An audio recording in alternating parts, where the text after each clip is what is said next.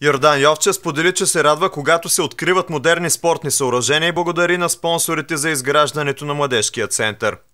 Изключително ми е приятно да бъда днес сред вас по случай откриването на младежкия център в град Галабово. Искам да благодаря на ЕИС България за положените усилия и за социалната политика, която води тук.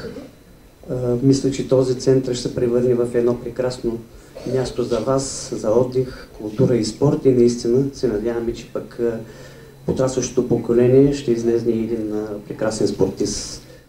Младежкият дом разполага с голяма спортна зала с разчертани игрища за бадминтон. Ще има обособени зали за художествена гимнастика и народни танци и отделен фитнес. До залата са изградени спортни площадки на открито.